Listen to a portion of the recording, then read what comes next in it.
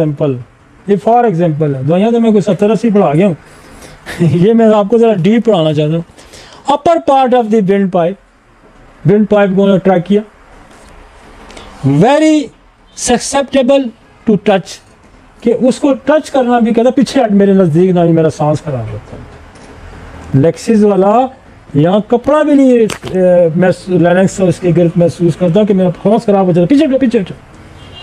बच्चे को नज़दीक नहीं आने देगा, बंदों में नज़दीक नहीं बैठेगा। कितनी ब्रीदिंग डिफिकल्टी है। अब समझ, इस बात को upper part of the wind pipe wind pipe कौन सा? हवा वाला, ये ट्रैक किया। To touch sensation of suffocation and strangulation on the lung कि यहाँ कोई चीज़ नज़दीक भी नहीं आने देता कि मेरा सांस ये उससे आगे दर्जे में निकल गया। स्पाइडोस्पर्मा से भी आगे निकल गए। तो वो कहता है, इधर इधर कुछ ना नहीं पीछे पीछे, सांस खराब हो जाए और लेटने से इसका सांस खराब हो लिहाजा ये दिल में भी इस्तेमाल हो लेटने से फेफड़ों के नीचे पानी होगा। जब लेटेगा, पानी ऊपर आ जाएगा, उठ के बैठ जाएगा। ये उठ के बैठ जाएगा।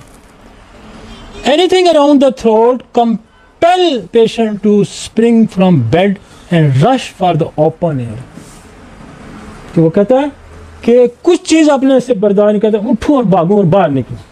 क्यों? ऑक्सीजन पूरी नहीं हो रही।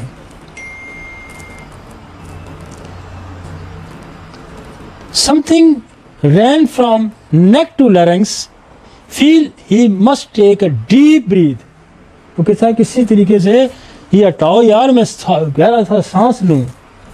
Cramp like distress in precordial pre precordial region cough, dry suffocative fits कहते हैं, फिर दौरा पड़ जाता है।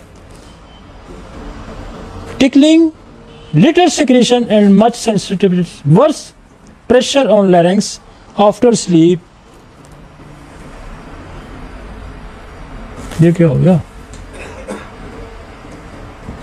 इसकी आसान सी है कि ये सोता भी इसलिए नहीं है कि मेरा सांस खराब हो जाएगा ये सो के उठता है तब भी इसका सांस खराब होता है। सोने से पहले भी बेड पे जाता है तो इसका खराब होता है। तो ये वेरी डीप एक्टिंग मेडिसिन है इन द रेस्पिरेटरी ट्रैक ये कार्डियक की वजह से भी हो रहा है, तब भी ये काम करेगी। और इसकी ये खसूसियत है कि जब इसकी बॉडी के अंदर से डिस्चार्ज होना शुरू हो जाएगा, कोई चीज़ बाहर निकलनी शुरू हो जाएगी तो ये ठीक होना चाहिए। मैंने, मेरे पास बेशुमार ऐसे लोग हैं, वो कहते हैं, जी, कमर दर्द है मोशन होते हैं तो ठीक हो जाता है। हम लेक्सेस देते हैं, आप कहेंगे कमर दर्द में भी लेक्सेस देता है। अगर मोशन होने से बेहतर होता है तो लेक्सेस अगर मोशन होने से दर्द होता है तो काली कार है। एक दूसरे के उल्टे। तो हम कोशिश ये कर रहे थे कि आपको ये समझाएँ कि what is the autoimmune disease और उसके साथ एक मैंने बड़ा लंबा चौड़ा आपको कंपैरेटिव स्टडी दी। कि जो लंग्स हैं, इसके अंदर एक तो ऑटोम्यून डिज़ीज़ है और उसके साथ बड़े और रिलेटेड डिज़ीज़ हैं, जैसे कैंसर बताया किडनी की वजह बताई टीबी की वजह बताई साइकोसिस बताया एलर्जी बताई ड्रग्स बताई। अब ऑटोम्यून में ये होगा कि आपका वो ट्रिगर पॉइंट कौन सा है, कौन सा ऐसा ट्रिगर पॉइंट है, कौन सा ऐसा एक्टिवेट पॉइंट है, जिसकी वजह से आपका इम्यून सिस्टम एक्टिव हुआ वो वैक्सीन हो सकती है, वो कोई कोई फॉरेन बॉडी इन्फेक्शन हो सकता है, जिसकी वजह से आपका इम्यून सिस्टम एक्टिवेट हुआ, उसको जज करें, उसको पकड़ें, और दवाइयों की एक बड़ी लंबी रेंज मैंने आपको दे दी है, और इससे आप दवाई सेलेक्ट करें। क्या आएगा? अच्छा। तो ये वो ऐसा खुदा का ये मेहरबानी है होम्योपैथी पे, कि इसके पास इतनी दवाइयों की रेंज है फ्रोज़म जो हमने पढ़ा था 199 उसमें उसने कहा था कि अभी मेरे पास दवाइयाँ बहुत थोड़ी हैं।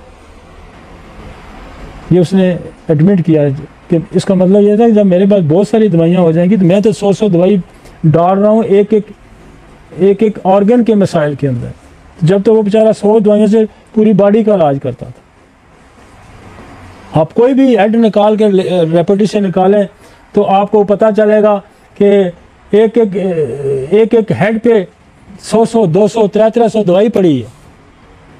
तो इसलिए काम उस पर तो बहुत हुआ कि काम जो था, इसको किसी लाइन अप करना, इसको स्टीम करना, ये जो है, ये असल में आप काम ये है कि आप इतने बड़े काम को जो लोगों ने किया हुआ है, उसको मॉडर्न टर्मिनोलॉजी में डालना, इसके लिए रीराइट थेराप्यूटिक्स करना मटीरिया मेडिका को एक नई शक्ल देना, ये हमारी ड्यूटी है, हमारा काम है।